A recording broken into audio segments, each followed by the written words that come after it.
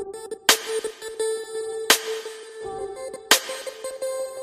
right, what's up, everybody? Thanks so much for joining me on the Super Manny Super Podcast.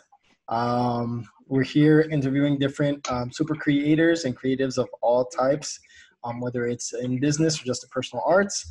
And today I have a really, really, really exciting guest, which is a good friend of mine, and his name is Gem. Gem, what's up, brother? What's up? Good morning. Yeah, definitely. Good morning. So, Gem, when was the last time we actually saw each other? Uh, dude, it's been a while, man. Um, damn, I want to say that one that one trip we did to New York as a group. Was possibly. that? I think so. It might be. Yeah, I think it When was. I broke my lens and then Manny fixed it right after I bought a new one. Oh yeah, when he smashed it. Well, like you know, did that that thing. Yeah. Oh, yeah, that was.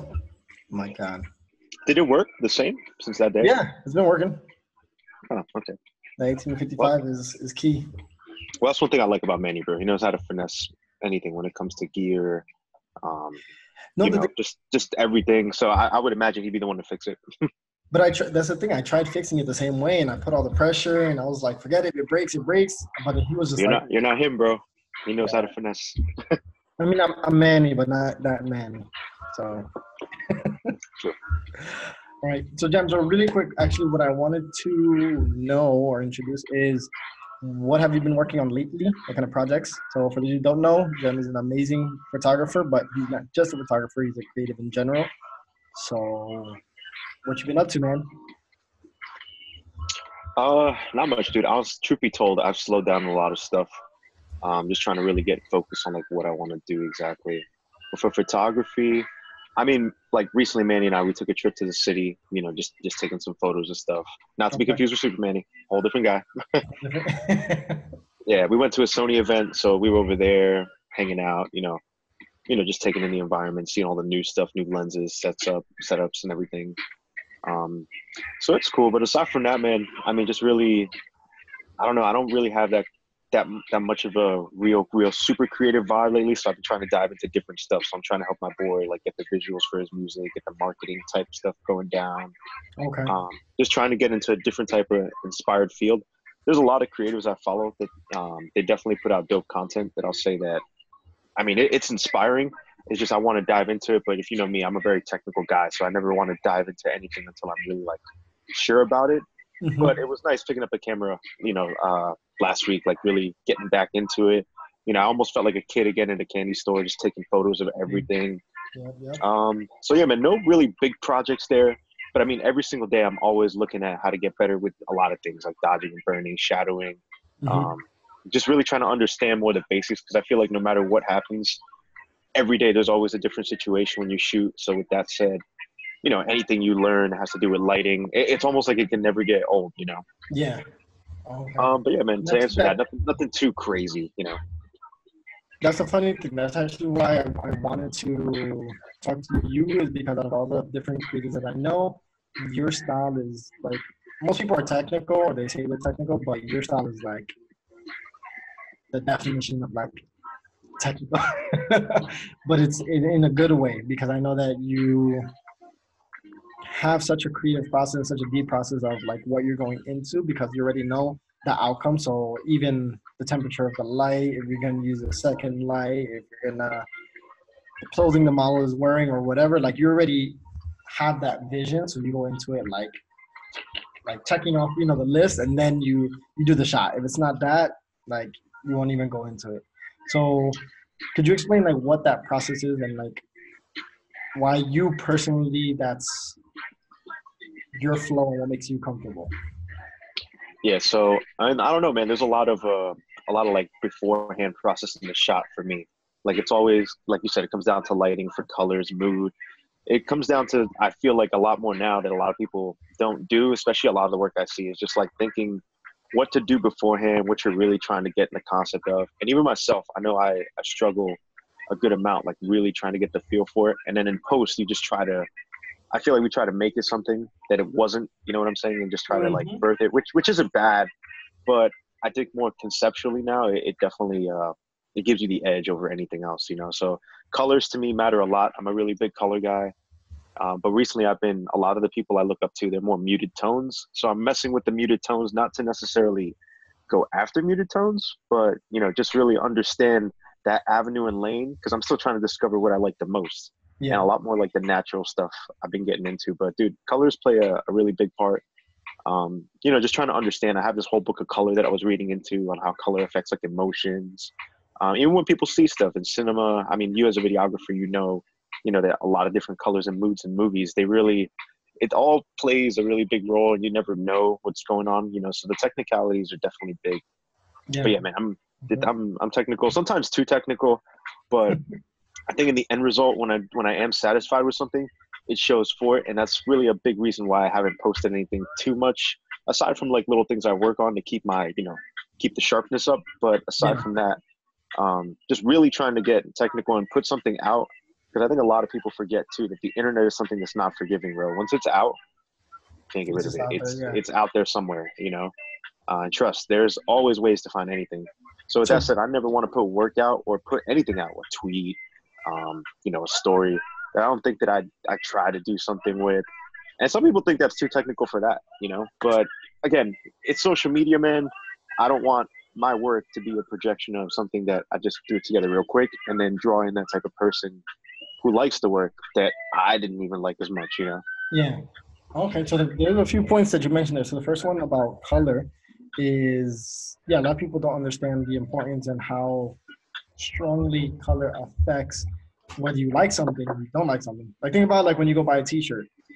Like I'll buy a shirt if I see it black, white, maybe red, but like a green, I won't get the shirt. And it's gonna be the oh, same yeah. shirt. You know, and yeah, like man, you mentioned like, in movies, um, I remember when they did the Matrix documentary, and they showed that mm-hmm. when they were in the Matrix, it had a blue hue, and when they were out, no, yeah, when they were outside the Matrix, it was blue. When they were in the Matrix, it was all green hue. And like me watching the movie perfect sense, so you know exactly what world they're in.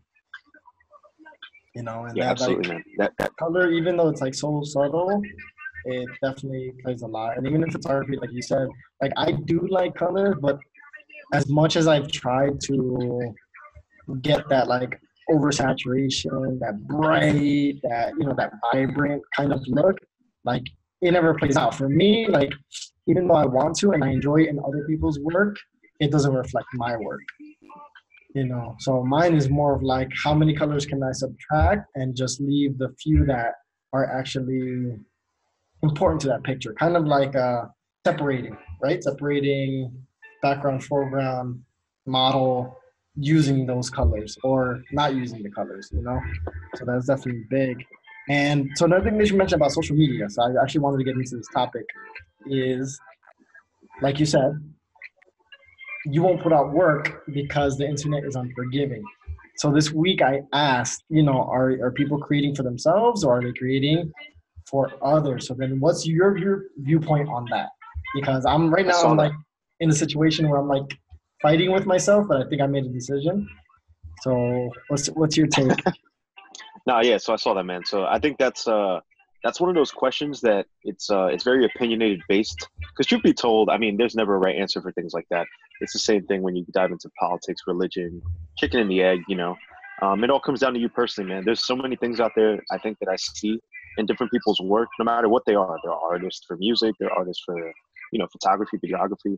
And dude, honestly, like I I think there is no true right answer because people will put out work, and you know when you look back at some of your favorite people's work, there's there's just so much like so much so much work that you know that they know now that they're better, but in that point they had to have put out the content.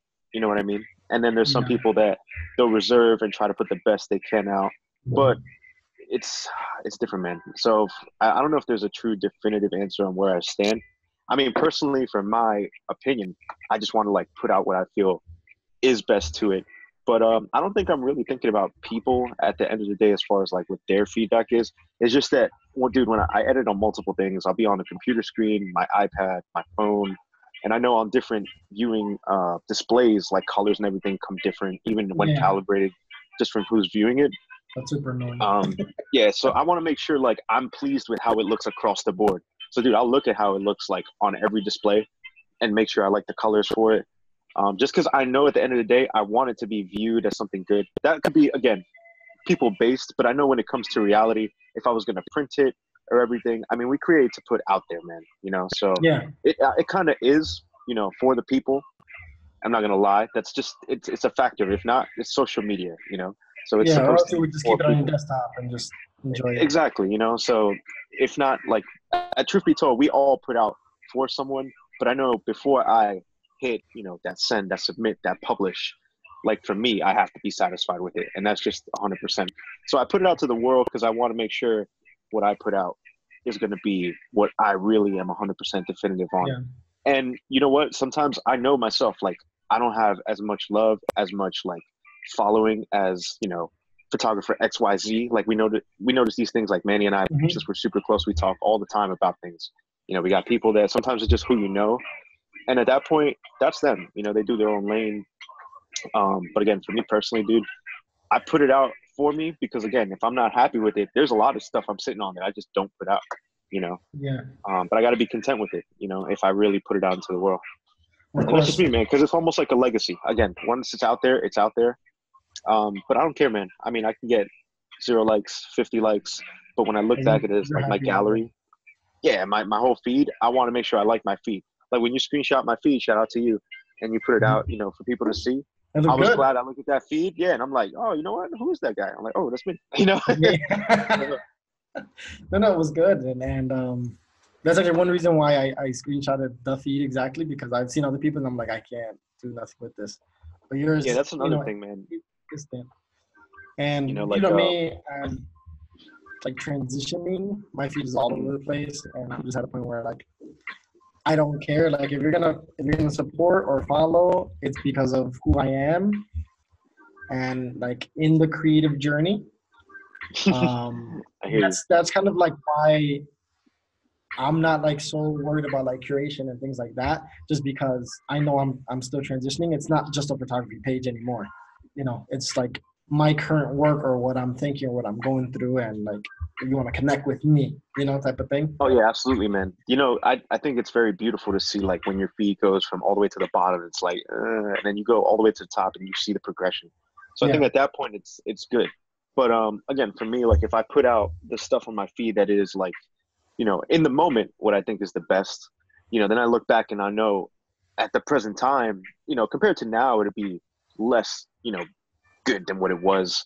Um, but you know, looking back at it, I'm like in that moment, I just want to have that feeling that when I upload, I don't upload just to upload. You know, like I'll look back and I'll be like, at that moment, I really thought this was good. You know, so I know I'm I'm on it. Because if not, I feel like I personally I can use a timeline as like a way to measure the progress. You know, and just how it's gotten better. True, true, true. That's true. Um, but again, if I just put out whatever all over the place, I'll never know like, you know, No, no, what I was really going through, you know. So there's nothing bad about that again, because some people can use that and just be like, "Oh, damn! Like I used to, I used to do this, like I used to do that." Like again, it's it's all personal how you take it. But I know if I look back, I'll be like, at that person, I really thought I was at that moment in time. I'm sorry, I really thought that that was really good. And if I see it now as I've transitioned better, then I'm like, okay, cool. So I know my thinking, you know, and my how I observe things is getting better too. Yeah, nice. for sure. No, but that's good. I mean, it's you know, and that's something I really I wanted to like talk to other creators about because it's it's evident. Like you can see, there's some people who are just like all over the place, and then there's some that like very curated. And um, even one creative director that I follow, um, he mentioned that like if you're gonna like you technically don't have to post every day because you want your feed to look the best and when people visit you they have five seconds to decide whether they're going to follow you whether they like your work or they don't like your work you know they can Yeah, take a dude, quick the grid is But very he did underrated. say- but he did mention that if you to continue to have that engagement and continue to like you know stay up with the following to just use insta stories with your throwaways and your things like that. So you can post your day-to-day you know like your everyday post um, through the insta story and then like your good or best work or you know whatever you're currently working on then you can post in your stories however many times you want you know so when i heard that I, I was like you know it makes sense because it's true. You got throwaway footage. Like whoever's following you within those 24 hours like they're going to see what you're working on. It's not going to live forever. And it's not going to Sure. affect like your image as a creator you know? Like i made that story the other day with like my breakfast you know? And it was like it was just a stupid idea I had in the morning, but I was just like, let me see what kind of engagement it gets, and it's something that I can put out for people to enjoy periodically, but it's not something I would post on my feed. You know. True, true. That's how I feel. Like, dude, I, I think there's definitely certain elements to to social media where I try to stay creative, and I know I can post in a space that's safe in a way. You know, mm-hmm. like um, a lot of the stuff, depending on how I shoot it, because I really want to shoot for an Instagram crop. A lot of people don't, and I think yeah. that's a that's a big thing. Like again, your feed is whatever you want it to be. You know, but I feel like the uh, the Instagram crop size that gives you the max image is just using the best real estate from it. So if I feel like I don't shoot it to the crop that's more, you know, fitting of it, I'll post it like on my story. So I have like a lot of highlights on my story that is mm-hmm. a throwaway content for myself that I'm pleased with. You know, like basically second tier, just because it won't fit for framing, but everything else I like. You know. Yeah. And some people don't like that. Some people feel like the framing for IG is just like it's wishy-washy. You know, like they don't want to crop for Instagram or they don't want to like kind of abide to the Instagram like rules because it's like a little more constricting. But dude, if it's the social media, you gotta learn how to you know yeah, that's, also, that's, that's that's good that you brought that up because I've also been like cropping more for Instagram and of course when I'm shooting like you know I fill up my frame I'm always checking but then like the only thing or backdraw that I see is if I shoot for the IG crop, that means I'm technically gonna have to step away from my subject, and that's gonna be a, just a little difference in focus and um, you know, resolution at resolution at the end. So that's why I feel like if I shot this at this distance and I filled up the frame how I wanted, I'm gonna get the full resolution of that shot. But if I'm thinking IG, I'm gonna step a little bit back, and then it's like not the same sharpness, and like you know, it's like little details that really, like for other people, won't make a difference. But that's like what oh, goes on well, in my I mind. Mean, if we're on here talking about this, there's tons of tips and tricks, dude, to work around that. That's the beautiful thing, you know. So, I mean, if you need it, I will definitely share share a couple of those tips that I've noticed that you know okay. I've also been helped with. Again, super big reference. Uh, I'm here for it. Yeah, super big reference, Manny. One of my my biggest people that talks to me about that because I'm not gonna lie, bro. I am in the I'm classified in the zone that I am very bad at cropping. Like that's just how it is. I'm, I'm horrible at cropping. So I'm the same like you. I film my frame, try to make everything look good, try to pre-game in the mind, like, all right, I frame it like this. I'll step back like this so I can crop, you know, this. Yeah. Um, but I don't know what resolution or what uh, what sizing I should say that you shoot in your camera. Uh, you know, just for what the the ratio is. But I'm pretty sure for mine I shoot 16 by 9. Yeah, I switch back and forth from 16 by 9, 4 by 3. Um, but yeah, man, I mean, right now, shooting 16 by 9, I found that as long as you leave like enough headspace on top, like just emptiness in the zone, and you can stay within the same focus. Yeah. The width is the same. It just comes down to cropping the height, which when you yeah. hit that 4 by 5 for IG, it'll mm-hmm. naturally mm-hmm. get rid of the top. That's pretty much one thing, one word of advice Manny's giving me, in which I noticed that when he posts on his story his stuff, versus on his uh his actual image. Like it's basically the same image. It's just missing that negative space, you know. Um, so yeah, that's that's one thing, man. Shooting with the uh, with that right size in camera and just leaving space at top because really everything from your subject down, if you want it, you know, it's kind of an easy rule to remember. You don't have to back up. You don't have to worry about cropping in. It's just really that piece on top. Yeah. And then if it really comes to focus, I mean, I know you're big on Photoshop and the tutorials you put on YouTube. But um, just do just doing minimal sharpening, small pixels um, to the important areas, hard edges, exporting with the right settings. I mean, um, mm-hmm. that's all it is, man. You just got to know. Again, being technical, the ins and outs of like Instagram, as far as like what resolution they want. Yeah, yeah. Um, yeah, just just because you know some people don't like it, and they just want to you know just upload. But the better mega, better resolution, more megapixels you have, the more when you upload on IG, it just constrains and like looks sloppy. You know, it's trying to put like a lot of information in this little box from what it restrains yeah, you to. I know. You know? I know a lot. So it's like, big, man. No matter what you do, you can't escape it. You know. Yeah, so there's definitely. I mean, I think so, I saw that one video of like Mango Street. They explain them the best export, you know, for Instagram and stuff like that. Yeah, there's a lot of tips and tricks on exporting, and honestly, there's probably three or four different ways that I think I've seen it. Um, I got my own method. I mean, it's it's like a tedious thing, but you know, when you post, again, it's just nice that when you'll zoom into there, you'll see that it just looks how you want it, like the max it is, you know. Because truth be told, if you're really gonna post on social media, another fun fact, you don't need a high megapixel count because of that. Um, you know, like that Instagram like crop and like squishing of your information. Yeah. Um, so like that portrait I took of you a while ago, that's in my story. Um, I shot that with a crop sensor lens that technically looks crisp, but that's because since we're working with smaller megapixels, we don't have to worry about all those details, you know.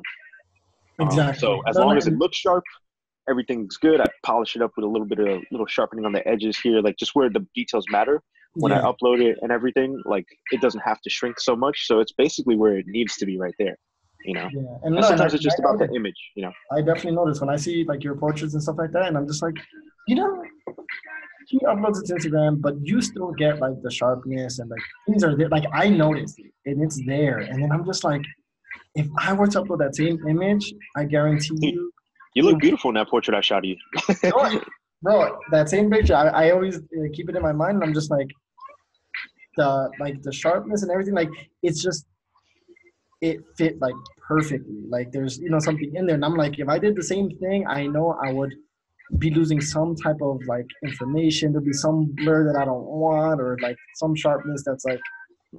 and you gotta think about like the real the real uh like pre slash post processing of it bro like remember people always forget too we shoot raw you know so our our goal is to shoot with information so we can recover everything afterwards you know you set the tone you set the mood that's what all this is for and if you want to keep it natural you just got to keep that in your mind when you edit something that the rawness is not necessarily natural but when it comes to the details like i said man it's just um sometimes for portraits i find like now recently just to, to tone back on details in portraits just where it matters you know Yeah. um, one of my favorite portraits i think is one either after yours or somewhere there in my story uh, this dude named tony He's like the oldish guy in newark but like dude all the wrinkles in his face Oh there's yeah, yeah, yeah, yeah. Again dude i shot that on a crop sensor lens that degraded my megapixel count to probably like 11 12 megapixels.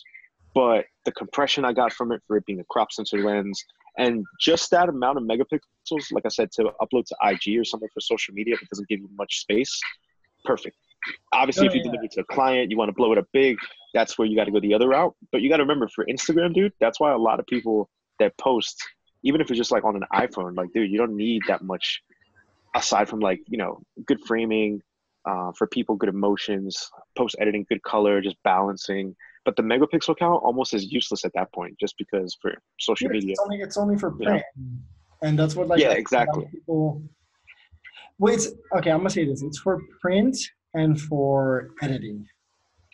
yeah exactly man Depending, depending like um on your editing style, if you if you're big into the details of the, of the eyes, if the skin texture, like that's where the megapixel counts. But I know a ton of like iPhone photographers or self, you know, mobile photographers, and the pictures are great because they shoot knowing the limitation of the phone, knowing the focus distance, knowing like when it looks good. And I tell people like all the time, I'm like you can take great pictures, but you have to know like the limitations. You have to know what's the best distance, all these things. And if you're gonna edit, you got to know like how far you can push it.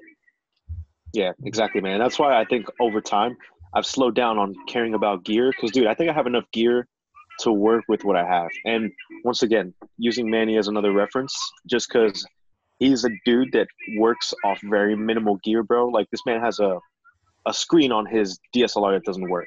You know, like he's got a film camera that he just gets the gets developed and you know posts on social media, minimal edit, bro, and still does amazing work with probably Yes. the most bare bones equipment you have.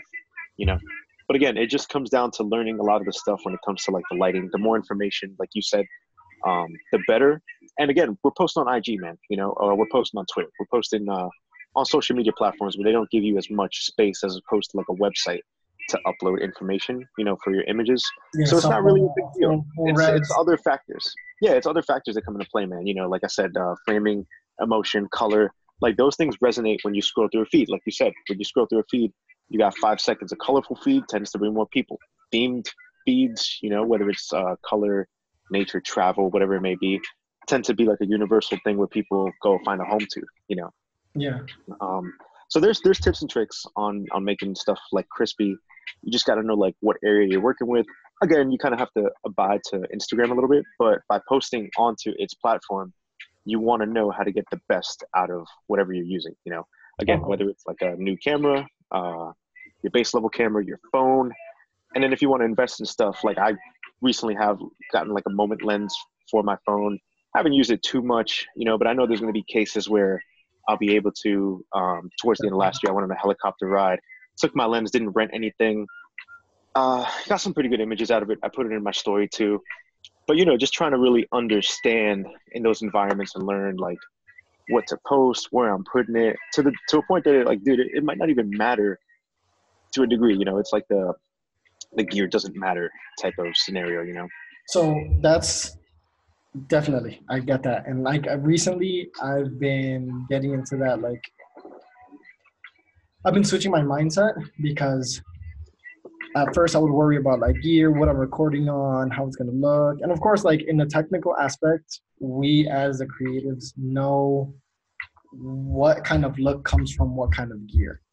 We know Oh that. yeah, absolutely. But the but the other day I was I was just recording with my iPhone and I was just looking at it, you know, like just like, and I'm like, you know what? IPhone actually does a lot better. I'm gonna say this video than it does photo. Oh yeah, I in mean, that sense, right? In that sense of like comparing, like you know what whether you use it for photo or video, and then I I spoke to Anthony about it and I was just like, I was like, you know, I can, I can pass with like just doing like iPhone video and like getting you know, the content like from there. And then I showed him two clips, and I was like, "Oh, if you see this, do you tell if it's you know shot on the iPhone, shot on DSLR?" And his response like blew me out the water because he said, "I don't care," and I'm not thinking. and he said, "I'm not thinking about that." Well, yeah, man, absolutely. Because um, yeah, iPhone, dude. Today in, in today's world, a lot of modern equipment, whatever it is, phone, um, you know, camera, they definitely they they do the job, man. All it comes down to is again the technical factors, lighting, um, stabilization for video. Like, dude, I, I'll I'll definitely vote an iPhone stable shot just because it, it's got a good processing like you know like unit inside of it on just how it, it does everything over like a shaky DSLR. You know what I mean? Just because you notice that right away, man. Like if if someone shot us in the Dark Knight and it was shaky, dude, you notice that right away. You know, but when everything just is done naturally, the slow yeah, exactly right. Yeah, dude, I can only imagine. It's already a dark movie, but that's a whole other thing. Yeah. No, no, Um, but so like, but the good, the thing is, like, the the point I wanted to make on that is that the consumer is not thinking about gear. They're thinking about what am I looking at? Oh, that's a dog. That's a coffee cup. That's all they're they're worrying about. They're not worrying about oh, was it shot on a red? Was it shot on a DSLR? Is it full frame? Is it? Yeah, I think. you know, it's Dude, just yeah, I think in those. the story. Oh yeah, absolutely. I think in those aspects, like it, it's it's you have to be on a very far end of either spectrum to really notice that. Like, dude, if you shoot something on a red camera and you know what you're doing, someone's gonna know I'm on a very high piece of tech just from like the color grading, the cin- like those cameras are on a whole another level. You'll notice, you know, like when you watch a movie, you don't think a movie's filmed with a DSLR. You don't think I'm gonna buy a DSLR and film this movie. Just the way a movie is, you know. There's a lot more that goes into it. Or you're on the very low end of the spectrum and you're shooting with a potato and you're like, yeah, I can tell he's shooting with a potato and I really care, you know. but um, the in betweens, like the iPhone, DSLR, yeah. As long as you um you execute properly, no one's gonna care. And just like every content creator says, like the biggest thing I think for video is story, and then for images it's just like subject and honestly sometimes color for people man like there's some people that i've looked up reviews for lenses and stuff that they don't actually like bokeh because they feel that uh it almost like unless you do it right again where you can tell as a dslr thing like if you do um, an iphone bokeh versus like a, uh, a dslr one with like let's say a 200 1.8 or something you know Mhm. there's a difference there, man. You know, that's again high end, low end. Um, but for the most part, one thing people like, which I found very weird to like about a camera like you know a DSLR or a mirrorless, is like because we can shoot things like f4, f8, we can get everything like crispy, crazy sharp, especially if you focus right. Because on the phones, since most of them have low apertures, they'll never really see that. So for them, it's different.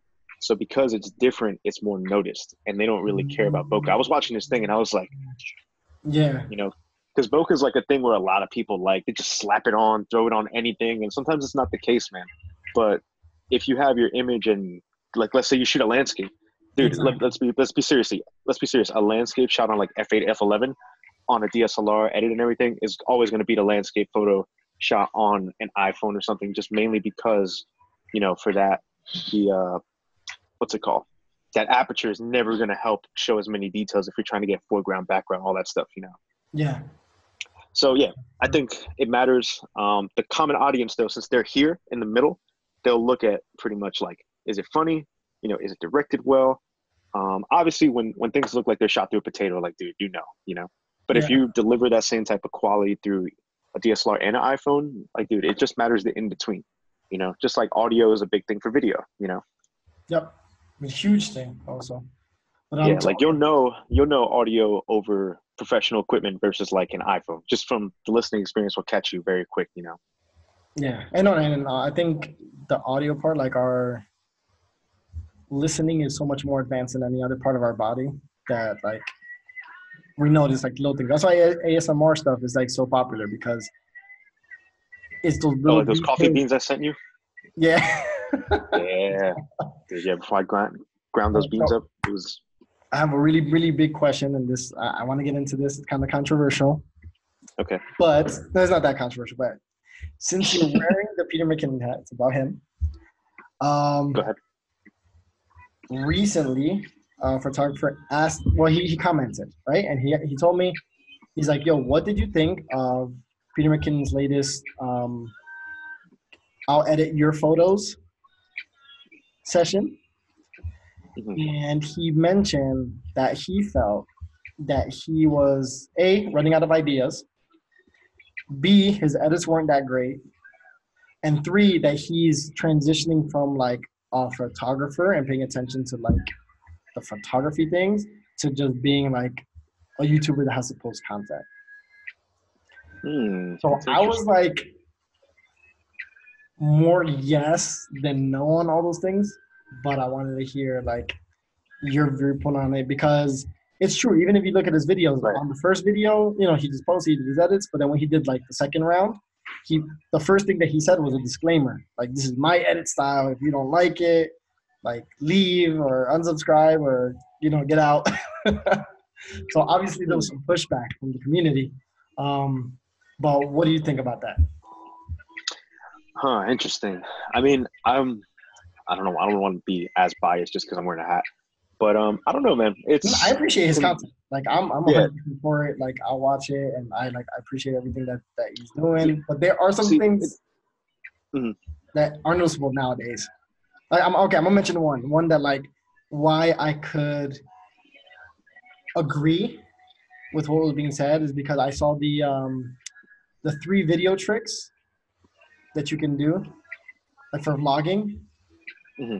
And when I saw that video, I felt like I kind of got like. You feel like you're going down memory lane. You feel well, like no, you've heard this before. Really, like put much into because the first two were the same trick. Oh, I know, and the last one was like keep you keep you by surprise. Then no, no, the last one like he just put the camera on top of the car and they drove away, and I was just like. I know what you mean. Yeah, I felt very very iffy on that video too. It was kind of catchy because like it was the last thing like he did, but I know what you're saying.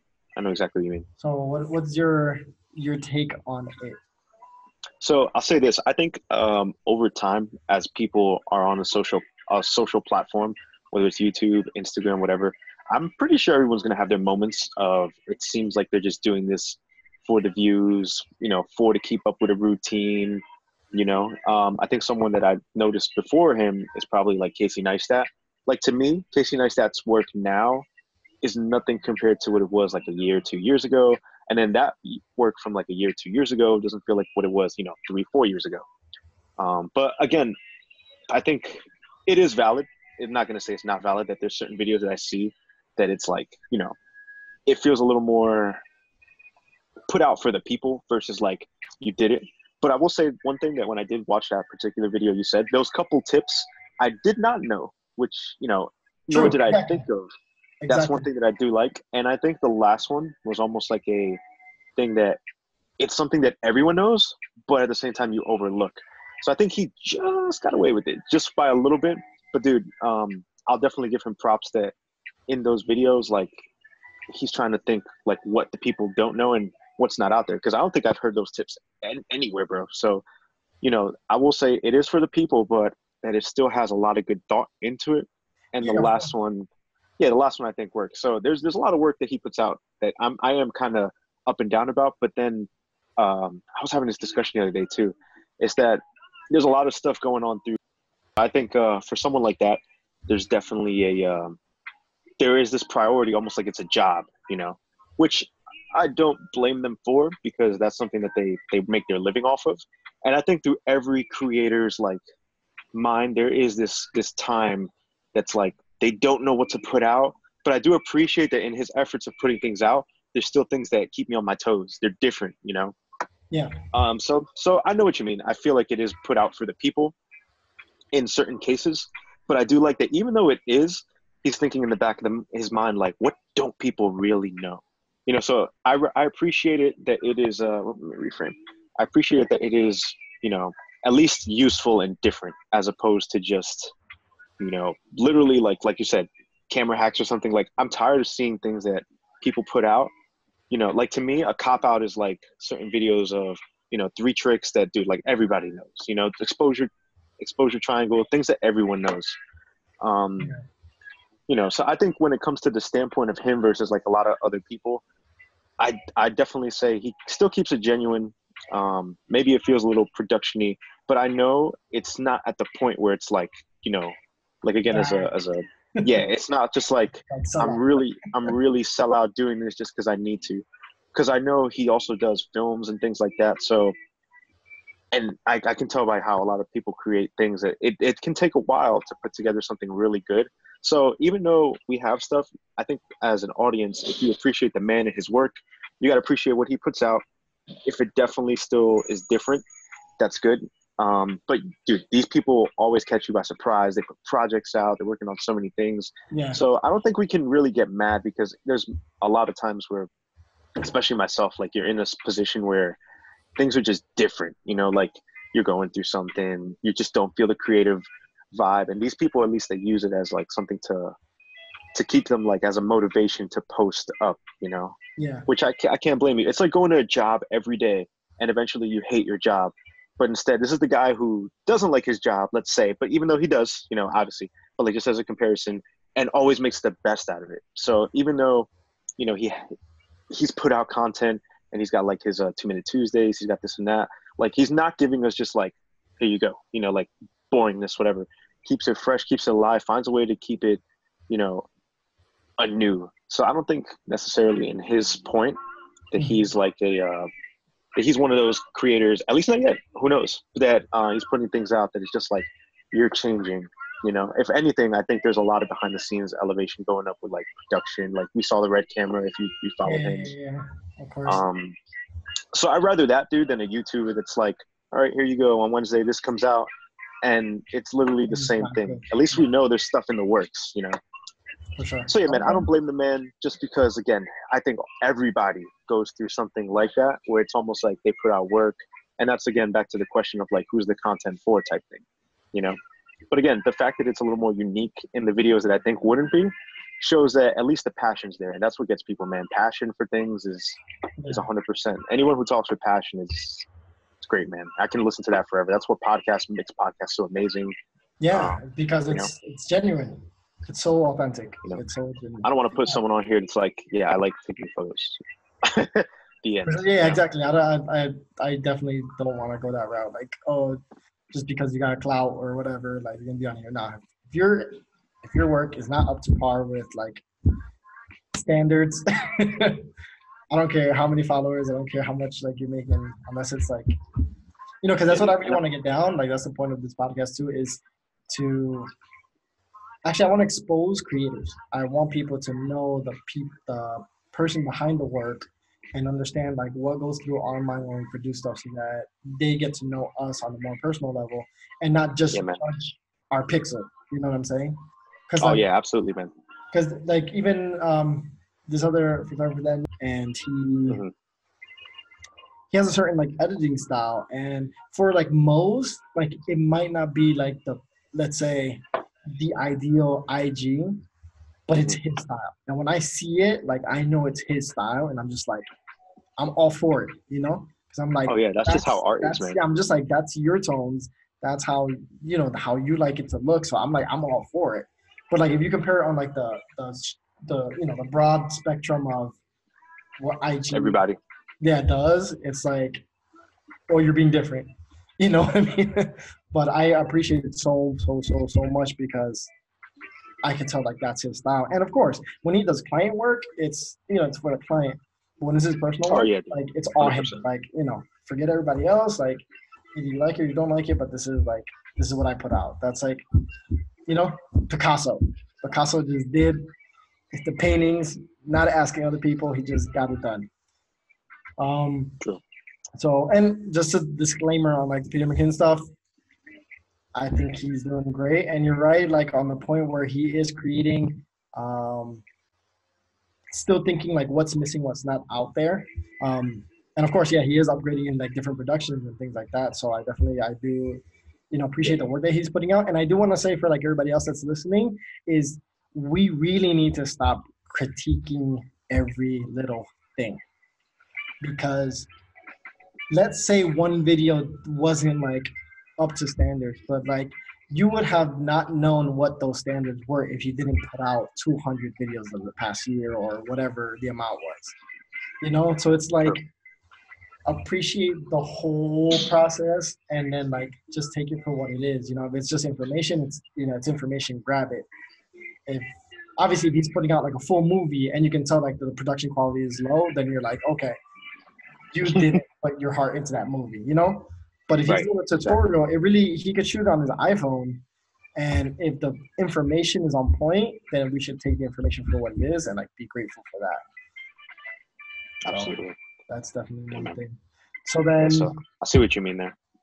You know, so jump to kind of round up and stuff. So what is what are you looking to do in the next few months? Like, what do you see your work or your collaborations, or what are you really like focusing on? That we can. Mm, that's expect. a good one, man. Yeah, so I think uh, as as novicey as it sounds, man, I think I'm still on that search on like really understanding lighting. I think that's probably one of my biggest weaknesses. Not that you know, not that I don't know anything about lighting, but I think lighting is so important to just sculpt things. You know, give them dimension. Mm-hmm. Um, and I think in the last couple months, more of the things I've been working on is like, if anything, in the work I do is like really like color grading, editing, toning, like on my own. Now, finally, based off like the people that I use as inspiration for. Like, I have a lot of people that I look up to, or at least a good small handful that I really, really like their work, man. You know, obviously, Peter McKinnon is one, even though I'm more into his cinematic looking work now over photography, just because I feel like his photography, it is great, don't get me wrong. Uh, but his cinema to me is just bigger. And that's actually another thing. I'm considering getting into video um, but again, I'm one of those critical people that I really want to master one thing before I do something else, you know? Um, so video is a possible up there. Um, understanding really more lighting just because I know with the perfect lighting, like we mentioned earlier, dude, you don't even need the best equipment, you know, and I want to be content with what I have. I think I have a decent lineup of what I can use to make stuff that's, that's really cool. You know, the tools are there. It's just mastering how to use every, every single tool there. And hopefully a travel, man. I think a travel somewhere. You know, I was again talking, um, just seeing where to go. Yeah, there's a lot of stuff. There's meets like there's a meet in Florida, um, California. I got a couple creative people out there that's you know it's always good to link up with. Even here in the city, you know, there's always endless possibilities. Um, just a little bit more like linking in person, you know, because I've definitely met a good amount of people. I think um, over the last year and change that they're either people I talk to a lot on social media that in regards to like creating, or mm-hmm. just people that have become my genuine friends because we're in the same interest field.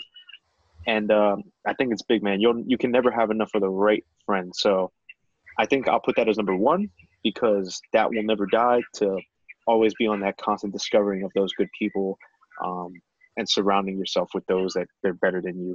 I mean, it may not seem like a a thing about me, but it's crazy how much an influence off someone else. Like again, I'm wearing a hat of a person that I don't even know, but I really look up to his work and it's inspired by work. Imagine I am meet or work with someone who's tangible. You know what I mean? Yeah, um, for sure. So I think that's something that people also forget. You know, you yourself in the field that you're in. I know you got a lot of good people behind you, and I know those people are grateful, and that's exactly one of the things that I think people overlook. That when you find really good people, that you know you just got to really hold on, show you're there for it, support, um, work with them right, you know, and with that, you'll discover a lot of stuff that maybe I'm not even thinking myself, you know, like within that little pocket of what I want to get better with can expand so much and bloom, you know. Yep. This is, I know it's not the most technical from me, but it kind of spawns the technicalities afterwards. You know, the people. I work with, they'll show me like a lot of the things, or sometimes I, I look from the outside in, just really like knowing and seeing what they do and like stuff that I'm like, I want to make that mistake or I want to be like that, you know. So, so that's um, definitely so it's big man. Awesome. That's definitely that's I'm looking forward to that to seeing that journey. But um, no, no, honestly, me, I think even in the creative space, meeting different creatives and working together is the I would say the one of the most rewarding, but then also the most beneficial as growing in a creative as a creative because everyone that you meet, like even like you know, speaking to you, like you know, I admire your work and I've learned so much from the style that you use, from you know the gear and how technical you are. Like, you know, at first it was like shocking because it wasn't my style, but then like as I know like why you go through it and everything, and I took a lot. Same thing with um with Manny. You know, like Manny's style is completely different from our styles. But when I see his work, I'm just like, if I try to emulate that, it's not gonna come out because exactly. it's like he has that you know that urban vibe, but he keeps it keeps it grungy, but it's also, clean. And he also keeps it like very. He has kind of a uh, I want to call it not like a retro, but like a what photography was when it started. Dude, he's got a film feel. That's it. Yeah, but it's like he's got a film feel. It's um, you know, it's amazing like how he puts the work, and of course he focuses on subject, background, lighting, you know, color and these things, but he does it in such a different way. Same thing with mutual friend with Elvis. You know, Elvis's work also is, is another thing that's evolving. He's he's always copying me, you know, so every time I do something, he's doing it. Mm-hmm.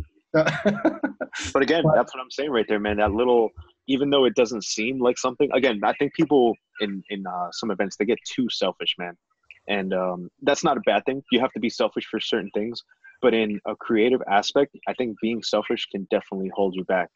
Um, it's not necessarily relying on people, but just you know being able to to get input from what they're doing what they're not doing. And again if someone's either quote unquote copying you or you know in a sense like oh that looks cool let me try that. You know that's something that if you didn't know that person follow that person pay attention to that person you didn't venture it. And you could be good you could be bad at it but you'll learn through that. And i think uh, people is a number one thing that they're more than a tool they're like dude, it's calling people tools is just doesn't sound good, but yeah, that, but, I know um, what you mean. I know what you mean. But they're definitely like a resource, like a resource.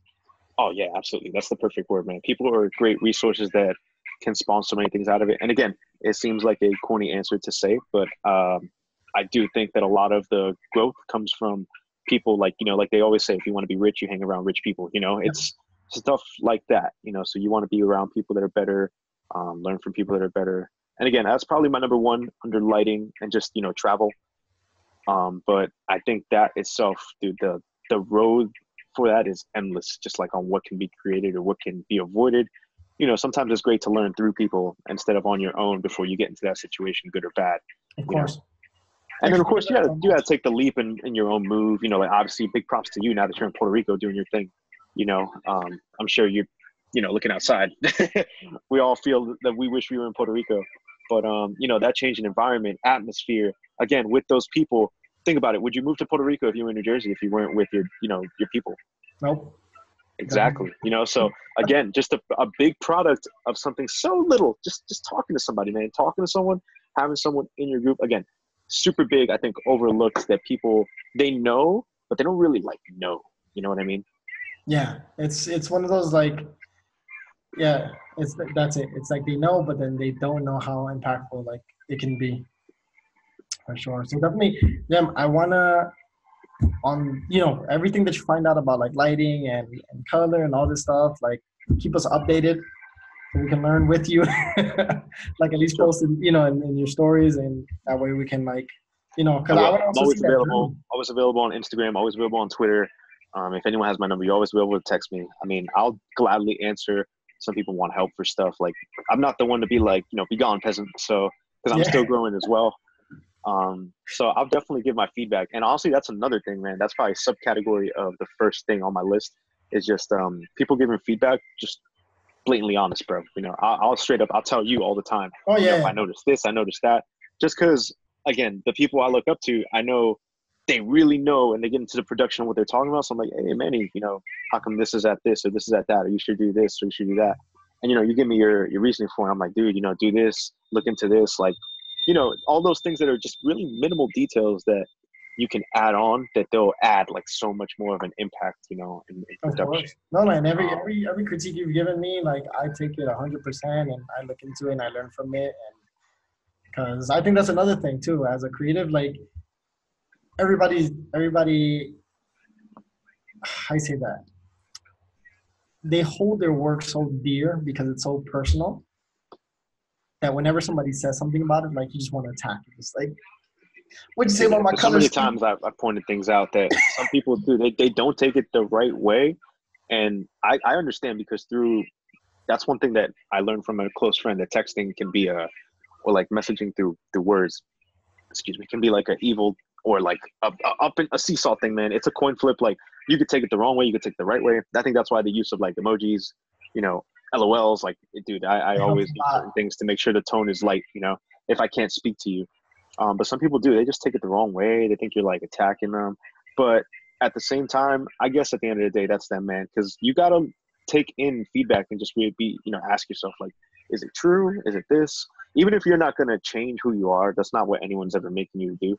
Just acknowledge that. You know, like all these people I see, like especially um, celebrities, quote unquote celebrities, or big people online. That people critique them. Like we said, we were having this whole Peter McKinnon thing where like some people think that his work is going one way like those are things that himself if he reads comments and stuff that's probably why he acknowledged it like you said in the beginning of the, the video to take that in and just be like am i am i you know like instead of like screw you guys you know like just really really sit back and think because sometimes if you hear something about yourself enough it might just be true man or if not maybe there's always a little truth somewhere you know so it's just like just really learning how to take in the, the best and the worst but in the best way no matter what you know For sure. it's just how it is man I, I wish people would critique me more and just let me know because every time they do, like at first I'll get like a little bit offended just because of the time that I put out into it.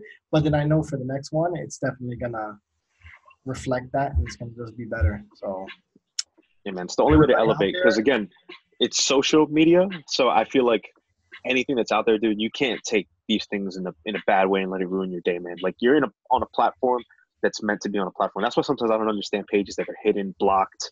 Um, you know, especially if they're promoting stuff. Like, dude, this is social media. You know, yeah, like I get it. I get it. comment on it.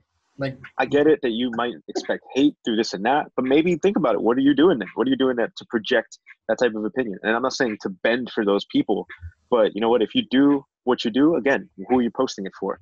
You know, if you're posting out there and you get all these comments and all these hates or these thumbs downs on YouTube, whatever, I mean, the people that keep posting videos all the time, they know you can't please everybody, man. That's just how the world works.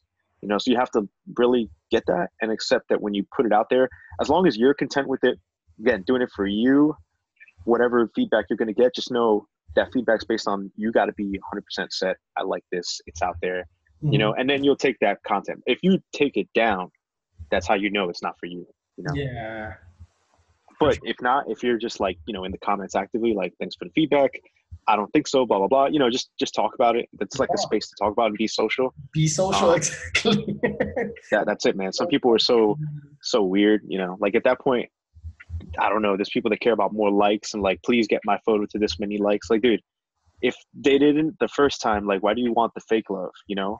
Or Yeah. just be like, instead, just be like, you know, check this out. Um, I don't know, send it to like creative people that you like instead. Like, you have an audience that follows you because they like your photos. If they don't like that photo, I don't think there's a real reason to push it super, super hard, you know?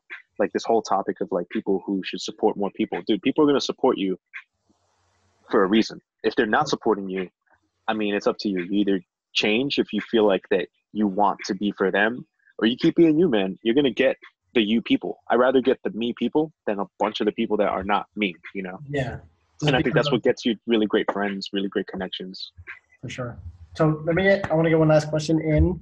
Um, also, another funny thing that I've been noticing on social media is those creative photos of that everybody does, like you know, like the trend.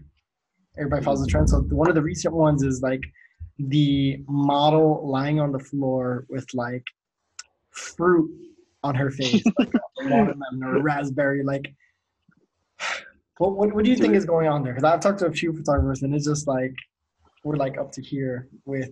Bro, we were just talking about that last night, and then it ends up to photos of tortillas on your face and eggs in your face. yes. It's hilarious. But uh dude, I mean, again, I don't see anything wrong with it. It can be annoying. I think honestly, I don't care if people do that, if they're laying on the floor, if they're taking photos with this and that. As long as in my taste it comes out dope. And of course, when those people put it out, just like any other content they're putting out, I guess they think it's dope. And you know what, bro? Some people got it, some don't. And I think if you if it's a trend and you want to give it a go, it's up to you. Like for me, if I give it a go, I'm gonna try my best to execute it to my liking. And you know, because trends are all, they're always good to. I always tell people like if you really want to get like social media based and you're, you're serious, serious, you want to ride the wave when it's there. You know, so if the fruit thing is the wave, and some people like have you know made their whole IG accounts on like for neon lights, things like that. I mean, do you? It's annoying to see when it's done wrong. I don't appreciate. I, I appreciate anything that's out there that's done right. I don't care if you got a watermelon in your face or an orange covering your eye. If like tones are dope, it looks super sharp, you know. But it's I just don't appreciate it when it's dumb and it looks bad. That's it. Yeah. But that's just my my opinion on on what looks good, what looks bad. You know, who's to say? So that was, that was I, you know. That was my same take on it because I was like, you know, I, I told the person I was commenting with, and I'm just like, don't get me wrong, the edit is dope. The photos on point, the sharpness is there, the colors are there, but it's like I understand if if somebody's in an next to an orange tree and they have an orange, or you are in a raspberry field and you got raspberries on your face, like or something. You know, it's like like yeah, when it's done, I, I know what you're saying. It definitely right, feels like you can tell it's done right. When it's forced, it's like yeah. it's forced. It's like okay, really See, but, loops in the in the in the milk in the bathtub again. Like, come on now. Ah, yeah, I've seen that so much, and I, I don't understand. Like, who does that? Who puts milk in a bathtub? I don't know where how much That's money. That's a lot of milk. Milk ain't, milk ain't cheap. Yeah, that's a lot. Uh, well, I think also some people just dye water with something. I, I don't know. I've heard there is an alternative on like some milk, but then like you know making it so you can make that effect more without actually having a bunch of milk in there. There's like something else. Yeah. I mean, I know what you mean. That one is probably my least favorite. There's certain some people that they'll pull it off, and it takes the right model, right setting, right theme. Everything kind of has to talk, you know, to each other for it. Like you were just saying. Like I understand if you're like in a, a field of raspberries, you get raspberries. Um, but again, I think to some degree, like I think subject minimal gives a bigger impact for those things. Like if you're like, let's say, just holding an orange straight out, you got bokeh coming on. You know, yeah. you got this little like like a color sequence that like goes with like orange, you know, like uh, complementing colors and stuff. I think you can make it dope. And sometimes that really random object that doesn't belong there adds like that much more like of emphasis to a photo. But I know what you're saying. There's definitely ways that it just gets weird. But then again, there's a lot of art out there, and most art, if you go to museums, is either very simple, very crazy that you just think, like, I could do that. You know, some abstract stuff, and it goes deeper than that. The question is, do I really believe that the creator who made that is trying to portray that, or they're just really they're just like, oh, you know, let me just do something random. Everybody's doing it. I think there's a difference, but you'll know exactly. based on the photo. Yes. You know. That's so that, again, that's when I appreciate if it's done well, and that doesn't necessarily mean it has to be done a certain way, like raspberries in a raspberry field, but just like how it's executed. Like, dude, I, I wouldn't mind if I followed an account that just had fruit on a desk, but like the desk is like a certain mahogany, or like it's like looks aged and the texture's there, or like even if it's like on a like imagine just having like an apple at the Apple store. Someone taking a photo of an of an actual apple at an Apple store. I don't think I've seen that. Someone wants to steal that, that idea I just came up with, but it would fit even though it doesn't fit. You know what I'm saying? Because obviously the Apple store is just all very simple, all tablets, all phones, all computers. So the Apple actually looks like the Apple logo, and it's just like line it up to the logo, something like that. You know, it makes sense, but it's still technically a fruit in a random place. You know but it's it's very intentional and you can oh, see oh, yeah. the creator's process behind it yeah so i think the i think it comes down to it like if that person posts that photo of something obscure and i look at their feed and i'm like nothing is like what they're posting it's different. You start to wonder what the person goes through, or if they don't express it to their people. You know, like there's some people that just never express what they're going through, and I think as a as an artist on any plateau, people want to know what you're thinking or what went down like like on a podcast like this you know to um yes, yes. to just really understand the work beforehand just to know like when he put it out he put it out. And like i know what this guy is like going through or I, I, I can appreciate the type of person this is. It helps link the work together. Exactly. again like a good example a good example is my boy. He's he's working on like a little project and uh, we're gonna put you know some images together for it we got pretty much all the tracks laid down i'm super hyped but one thing is, uh, when we were in the car one time listening to a set track, he explained really how it went on in the studio, what went on through his head, the emotions he went on, who the song was about. And I think with that, when I first heard the song, I can I could have played it like ten times. I liked it, but it was just like I like it. But now that I know what went on through his head process, like I feel it, you know, and I yeah. think it's more of an impact now. So that's where I think like interviews play really big for certain artists too podcast itself, you know, things like that. Um, so yeah, man, I think the intention behind the shot really, really will justify if I like it or not. And that, uh, trust me, I, I know what you mean. That fruit thing can be kind of annoying, but but again, I think if you just do it right, there's just certain elements that, especially if you feel that person's touch in there, that it'll resonate better than it just feels like okay, I don't understand what's going on. There's a a watermelon in front of her nose and an apple in front of her eyebrow.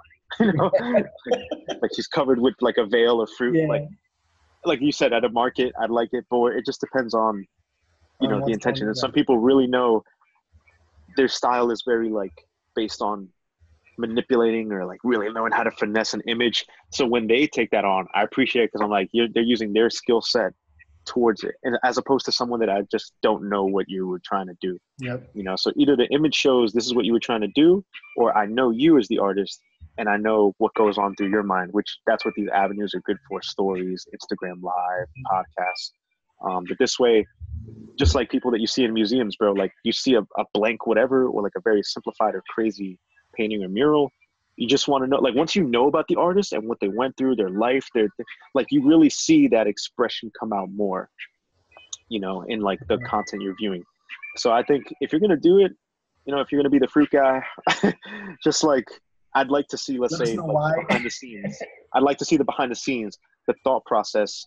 Just that's just me personally um just to really appreciate that. Because if not i think to the average person it's just like what are you doing you know, hmm. that's that's a good. I saw, that's a I saw one when do like for, crack egg over a woman's face. It's just hilarious. Yeah, but that's a good point for like for our creatives and everyone listening. Like the story and the person behind the work, I think is more important than the work itself, because if I follow somebody as a creator, I do appreciate their work, but I appreciate the one doing the work.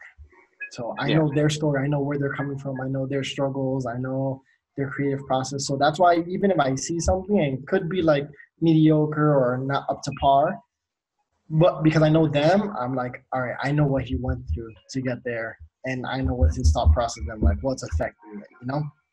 Right. I think that's important. For all the creatives, we gotta we gotta tell the story behind it. You Dude, know, even like Again, what you mentioned about the social songs. media no, you like even with the music, like I don't know if uh, I use Spotify and there's the like the genius lyrics that'll come up, and it'll give you the lyrics, but it'll give you like the context. Oh, I love that. I love that. Yeah, I love it. That's one of my favorite things to use on Spotify. Yeah, so when I see that, and I'm just like, I love this song that much more because I know who he's talking about, what he's talking about, where it comes from, the reference, and the behind story. So when I'm listening to it, it's like I'm there. So hype. It.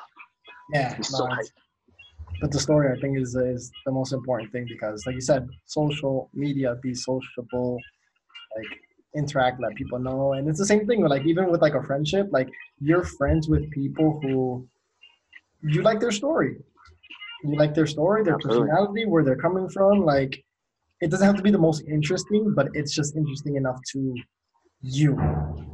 You Dude, know? and it's crazy because that can definitely have the flip effect too. There's some people that on social media, they're amazing, and I meet them in person. I'm like, dude, you're so dry. You're so yeah, you're so like, I don't know, like land. But again, yeah, and don't get me wrong, maybe that's just their channel that they express everything through. But like, I don't know. I figure you express something. I think it's healthy to learn how to vocally like try to express in your work, you know, things like that.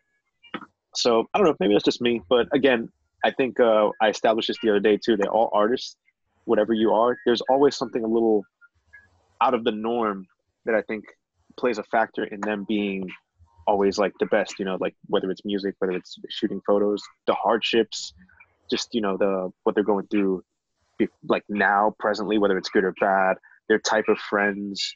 Um, there's a lot of factors that play into it, man. But I definitely again, probably subsection of the first thing that it's on my list. Um, being social on social media, I think that's the the best thing ever, man. And if you if you don't do it, and especially in a creative field, that's dude, you that's like a non-negotiable. You have to you have to at least for growth, either for yourself or for your page. Um, you really it's dude, it's like free. You know, it's it's really the most the best free resource you have. Yeah. Everybody around you, you just know. You. Also, just being you. Yeah, a lot of people like even like you said, right? You're wearing a hat of somebody you never met, but because you appreciate their work. It's because you resonate with that person on some personal level that you want to support, and you just think that they're dope, and you want to share something in common. And like that's where the true following comes in. That's where you have your, you know, and you want to call them fans. I, it's more like friends from afar, because True. probably be like mad cool if they just live closer, or you know what I mean. True. Uh, but I think yeah, definitely that like that personality and just like being you and expressing yourself out there, like that's what really brings people in because there's some people I follow because I like how they look. You know what I mean? True. Like I, I just I don't know, he has a cool face or he has cool hair or whatever, you know, or like his laugh is like awkward or something like whatever it is, but like I don't like it. So I'll keep following because I don't want to miss it. I don't want to miss the next time his hair looks cool or you know, the next time he does that weird laugh or like whatever it is, but like it won't even have to be about the work, but it's really like about the person. So I think we need to, the creators need to get more into their work and attach themselves to their work and stop being like this awkward behind the screen, non-existent, like try to manifest themselves through artwork. Like, no, dude, you're a person and you use a tool, whether it's a canvas, whether it's uh, DSLR, whether it's just a beat pad, a microphone, anything. Yeah, whatever it is, like, but you are more important than the tool that's being used. And that's something that, like, um, I appreciate Elvis' his work for because he always mentions, like, right now, he's just using a certain tool to share his process and his ways. You know, that tool at the beginning could be photo. The tool now could be video. It could be a different tool later, but he's still him. So no matter what tool oh, yeah, he's using, I'm still gonna follow his work. You know, if he goes into basketball or baseball or something, like I'm still roll with it because it's out. It's him. You know.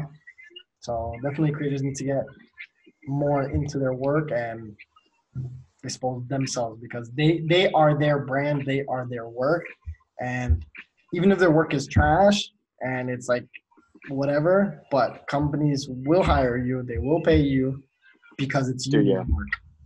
You know? I've seen time and time that there's people that I'm just like, people pay for this, and sometimes it, again, like you said, it's it's just how you present yourself, how you market it, and maybe the person that is really delivering the work is greater than the work just at this present time. So a lot of companies see potential, a lot of people see potential, you know, um, and it's true, man. Sometimes, like myself, I feel like I'm always on a constant like trying to grow, trying to do better, trying to learn more techniques and things to produce better images when it's done.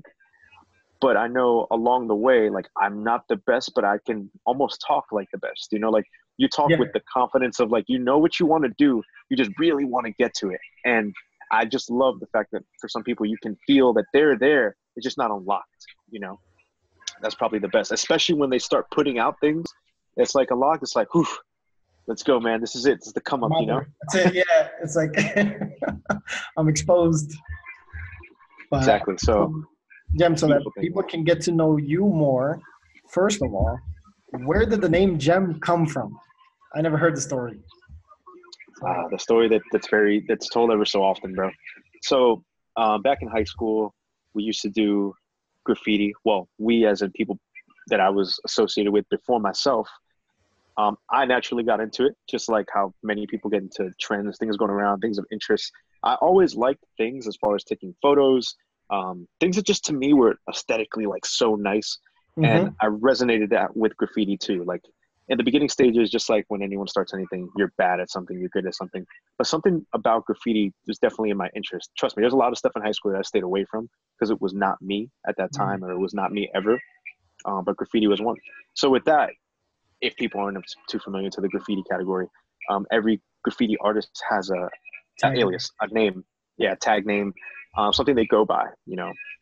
And for us in high school, there was so many names that went around from either big people that were in New Jersey, people in school already. Because one thing is like you never want to have the same name as someone else. It's like a whole, whole beef thing. You know? It's the whole. Yeah, yeah, of course. Um, so because so many names were taken, we just tried to figure out, you know, what to have me like as a as a graph name would be. You know, there was a couple things that we couple names we went through, um, just putting certain letters together. Because fun fact in graffiti, a lot of letters they kind of resonate the same. Like the names are never like it's never about how cool the name is. It's about how cool, simple the name can be, minimal. But like before that is like how creative can you make those letters in that name? So like common mm-hmm. things like the vowels. Most of the vowels are pretty easy to do. C is a big thing. Mine is actually very difficult. Fun fact, because the letters G, the letters M, they're not really used too often in a graffiti name. You normally see, yeah. If anyone pays attention, there's certain letters that people try to make words out of. Um, we kind of just did gem. I don't know. It was just kind of came in a lunch table conversation. Um, I was always the way I was around a certain type of people for interest that I liked sharing things, giving my opinions for it. Um, you know, so a lot of people said I would talk a lot of real stuff, so it kind of resonated with my name. You know, that gems right? Dropping gems. Yeah, dropping gems, dropping gems. Man. So, you know, about a lot of stuff, no matter what it is, man. I just if it's a it's a good conversation. I got people passionate that make love good points about it. Like all those conversations that we're not supposed to talk about. That's like things that just have never ending. They're opinionated.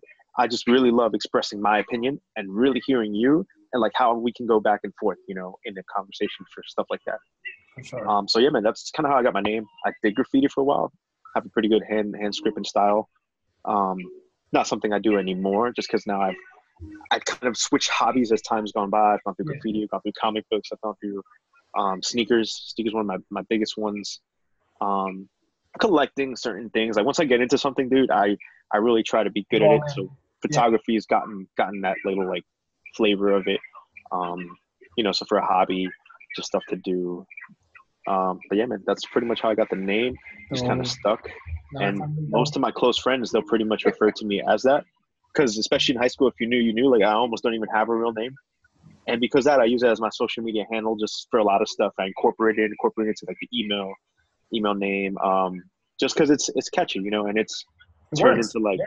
who I am, you know. And honestly, like the way people say why I got it, like what they think, you know, again, they think it's just because the way I talk uh, but again, in graffiti, sometimes and most of the time, you don't really give yourself your own name. It's really given to you. Yep. yep. So I guess I'm a product of uh, people for that, at least in that certain uh, it's the, time. It's the same thing happened with me. Actually, a lot of people don't know, like you know, why people call me Super Supermanny, but that was actually my breakdancing name. So oh, I didn't know that. There you go. So that's where like that came from, and it's not really because Superman my favorite superhero, but just like it fit, you yeah, know, it kind of like that's what I assumed it was, honestly. also. so that's why, yeah, so it kind of like fit. And then most people, you know, obviously my full name is Emmanuel, but most people just automatically resonate with Manny.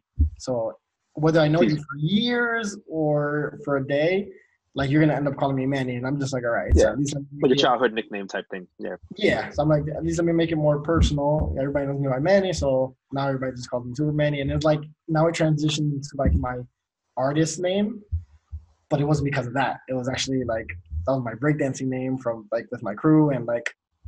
But that's again, the thing is, you got your name in a creative space. That's how a lot of stuff happens. Yep.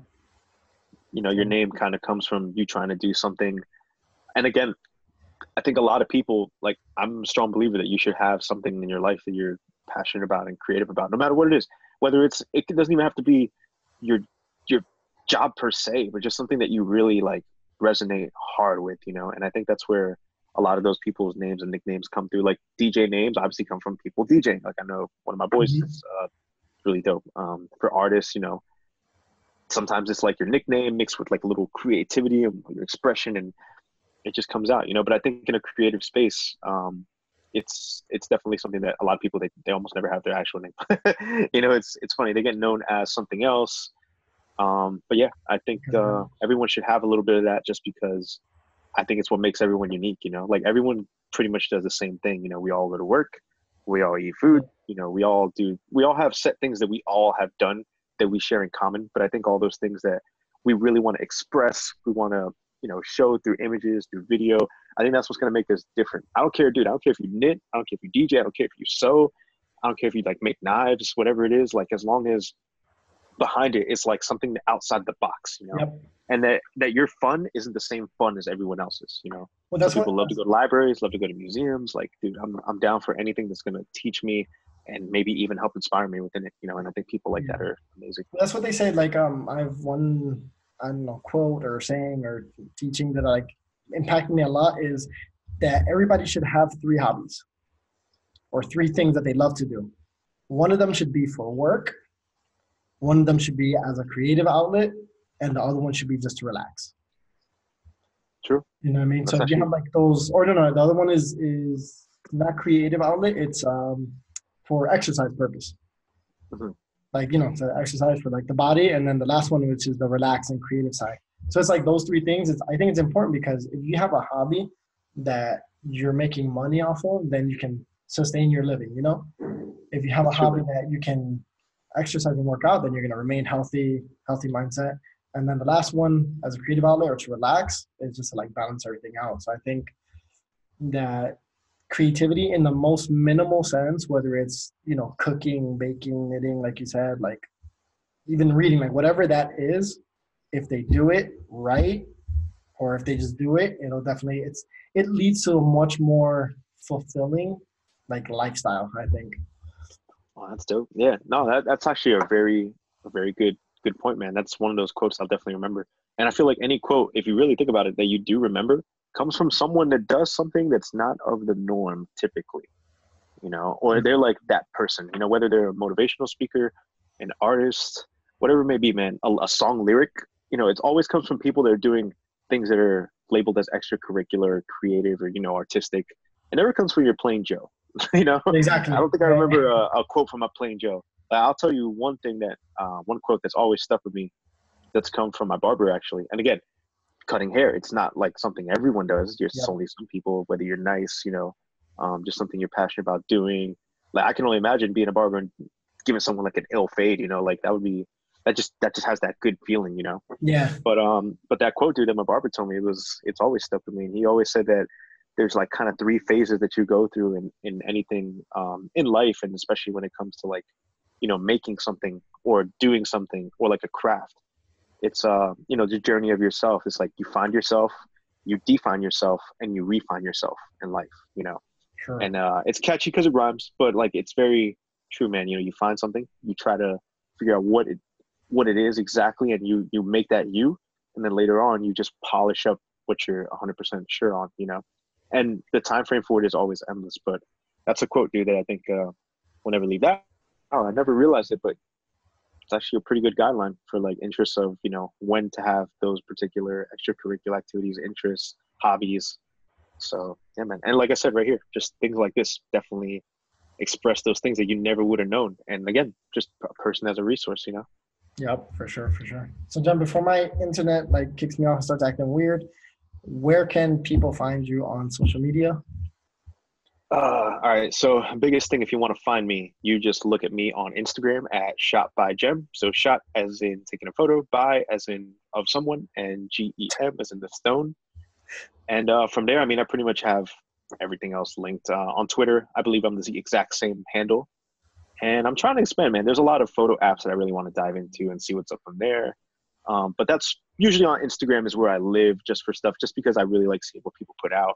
I like critiquing for myself, like knowing like if I did that, what I would have done mm-hmm. different. Uh, but that's the biggest man. From there, you can hit me up and we can expand from there. You can text me, obviously, if you hit me up. You can email me if you want to do that. Slide uh, into DMs.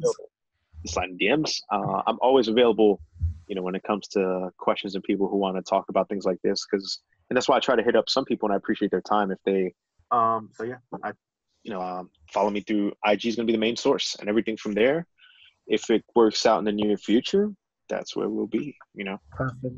So, even though you dropped a lot of gems, a lot of good points, what would be if there's one piece of advice from a creator to creator that you would love to see people implement more or do more of, or just keep in mind, what would that be? Uh, I think it goes back to the topic we talked about and a little bit further. I think the biggest thing I would like to see is more genuine collaborations between people that want to make something greater than what they do. So, you know, maybe working on a conceptual project instead of just being together and taking photos, more thought behind it. Um, that's that's really one of the main things that I'd like to see, honestly. Um, damn, I was thinking there was something else attached to that just now that like escaped my head. But honestly, that's the that's the biggest point, man. And you know, just really oh here we go. So just like an artist itself because i used to be very into like i said graffiti and um, I, because of that i subsectioned into like a lot of mm-hmm. stuff like painting and everything. Just looking into it big thing is always do the work to where you're content. Leave it alone for a while. Could be a day a couple days and then come back and like really think about it. Like do you like where you're at? Do i want to make some changes?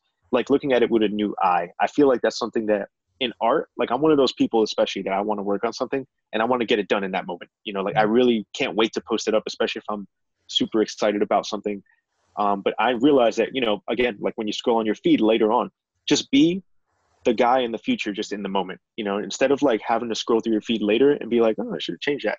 Like just go back to that photo tomorrow before you post it and be like, do I really like this? You know, and just kind of like making sure when you put it out that you're 100% that you want out there. Cause again, once it's out there, it's out there.